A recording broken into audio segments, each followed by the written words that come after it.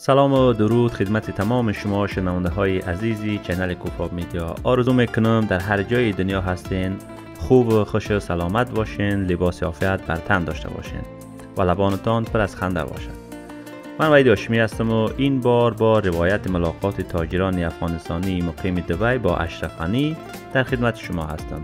شاید اکثر شما این نامه را در فضای مجازی و اینا دیده باشین و خوانده باشین.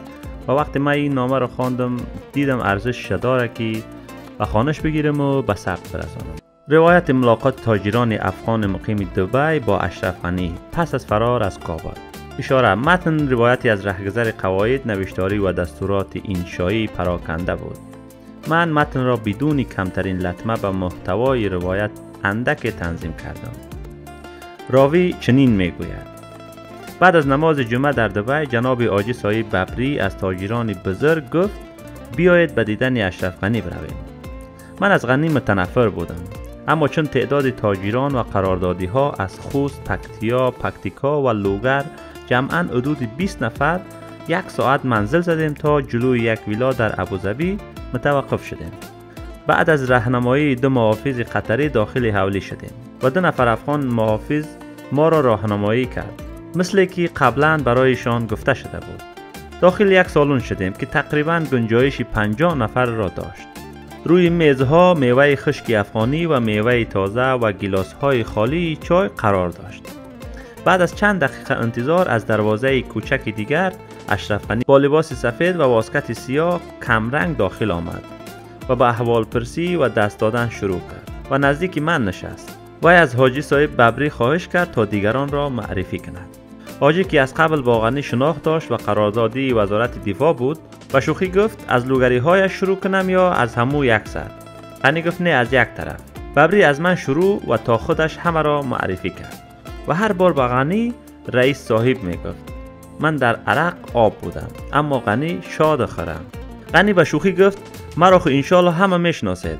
همه خندیدند. غنی تقریبا یک ساعت گپ زد.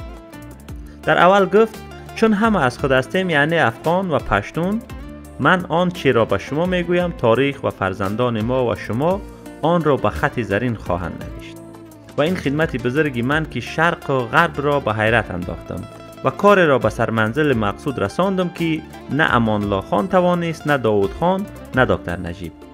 این است که تمام سرزمین را ماهرانه و عاقلانه از پامیر تا تورغندی و از اسلام قلعه تا ترخم و از نورستان تا کابل و قندهار و غزنی و بامیان و اروزگان و مالک های اصلیش سپردم آن هم نه با دست خالی بلکه با قل اردوها سلا و مهمات این کار ساده نبود. در دور اول ریاست جمهوری هم می‌خواستم وقتش میسر نشد در دور دوم با چند هم فکر دیگر چون محیب صاحب فضلی صاحب داودزای صاحب استانکزای صاحب و و و بغیره.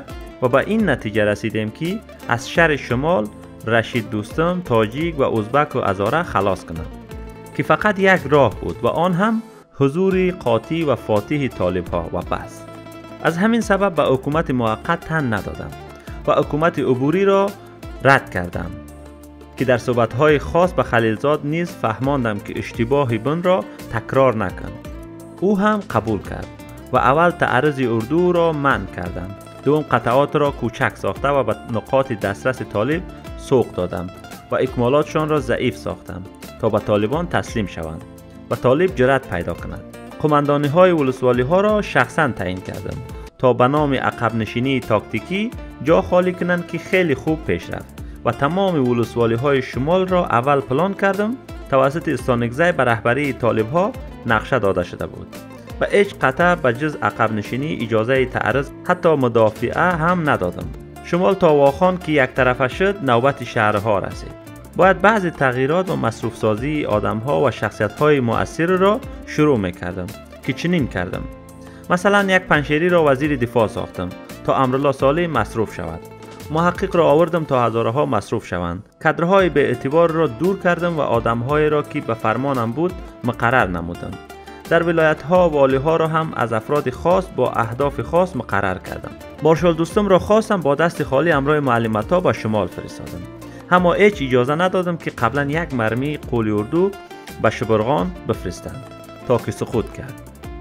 مارشال و عطا که به مزار رسیدند به خاطر که کدام خرابی نشود و قافلگیرشان کنم خودم فوری مزار رفتم و یک بچه قهرمان را به صفت قماندان قلی اردو تعیین کردم.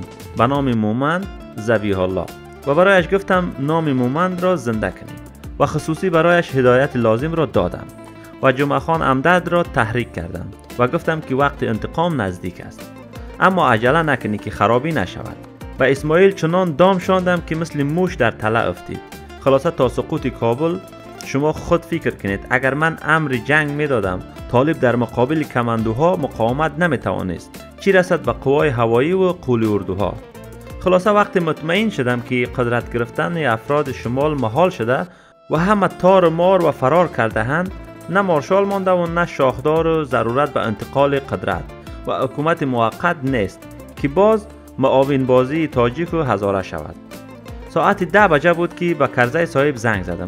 گفتم عبدالله وزیر دفاع را مصروف بساز تا داخل شدن طالب ها حالا شما بگویید که من قهرمان آینده افغانستان هستم یا نه؟ من این قهرمانی را با همه بدنامیش به دل و جان خریدم. البته برای شما قومم.